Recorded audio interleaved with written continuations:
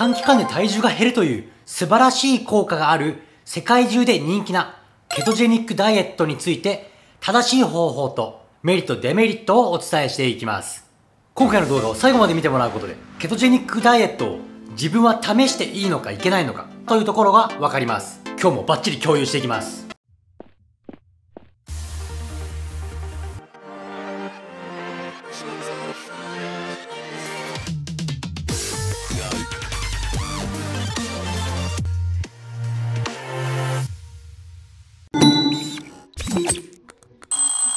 はい、皆さんこんにちは、タートルです。今回ですね、ケトジェニックダイエットという方法について紹介していきます。ここ5年ぐらいでですね、日本でも流行ってきたダイエット方法なんですけども、実は世界中ではもう30年以上前から実践されているダイエット法なんです。簡単に言うと、糖質を制限してケトン体を作り出し、糖質の代わりのエネルギーとして蓄えている脂肪を使っていくというダイエット方法になります。聞いただけで言うとめちゃくちゃ嬉しいですよね。糖質減らしてエネルギーがなくなって、体の体脂肪がどんどん減っちゃう。めちゃくちゃすぐやりたいぐらいのダイエット方法ですよね。でも欠点ももちろんあります。後半でお伝えしていきます。このケトジェニックダイエットというのは、もともとは転換患者の方に使用されていた食事方法なんですけども、それが実は減量効果のあるダイエット方法として使われてきています。もちろん、糖質に依存してしまっている方はですね、とにかく厳しいダイエット方法になるので、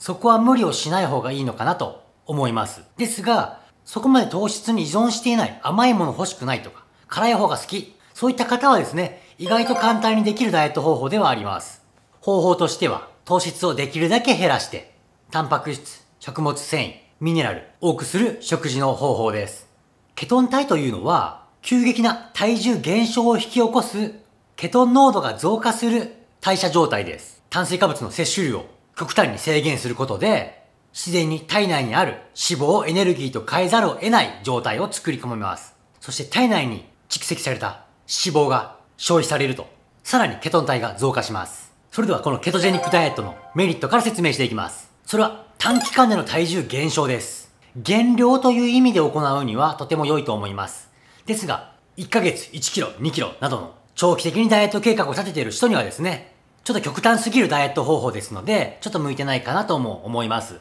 ですが、短期で飲み食いして、1ヶ月2、3キロ増えました。そういった方にはですね、元に戻すには短期的でいいダイエットかなと思います。ケトンの放出により、食欲の低下が起こり、全体的なカロリー消費が下がりますが、糖質を減らしているため、過剰な空腹が起きません。体重が減少するときに、体内に蓄えた脂肪の方から燃焼するために、筋肉が減りにくいです。めちゃめちゃいいメリットですよね。動物性脂肪の摂取が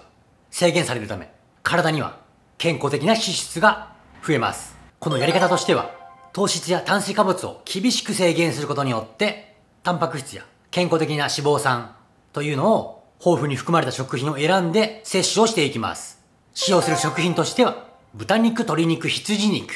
魚介、卵、果物、植物性油、野菜、アボカドなどです。糖質制限しても食べれるものがいっぱいありますよね。そして禁止されている食品というのが、アルコール、穀物など生成された糖質、市販のソースやドレッシング、マヨネーズなど、全乳製品、甘い果物などです。そしてこのケトジェニックダイエットの欠点、デメリットですよね。そこを大きく知っておかないと、体調不良を引き起こす原因になりますので、しっかり最後まで聞いてください。炭水化物の割合の健康的な量というのも下回りますから、体には大きな負担がいくという指摘もあります。ビタミンやミネラルなども摂取量が低下してしまうために栄養不足が生じて健康には有害だと言われている説もあります。炭水化物を抜いてしまうと食物繊維の量が減ってしまって便秘になることがあります。これはなぜかわかりませんが、口臭を引き起こすことがあると言われてます。肝機能過負荷状態にしてしまうために脂肪肝や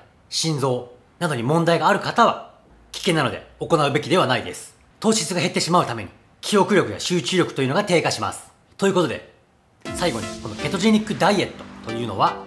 時期によって体調がいい時期、体調が悪い時期、それぞれあると思います。体調が悪い時期にこういった極端なダイエットをしてしまうと、健康状態を悪くしてしまうことがありますので、とても健康ないい時、少しやってみていけそうだなと思ったらですね、1週間とかのケトジェニックダイエット、というので体重を短期的に落とすというのはありかもしれません。ですがダイエットというのは日々健康運動食事と向き合ってですね長期的に負荷のないように行うべきことですので無理をせずに自分に見合ったダイエット方法を見つけて楽しくやってもらえたらと思います。勉強だった方よかったらグッドボタンコメントよろしくお願いいたします。チャンネル登録をされてない方はですねこれからも有益なダイエット情報を配信していきますので登録の方もしておいてください。今回もご視聴ありがとうございました。足がしびれました。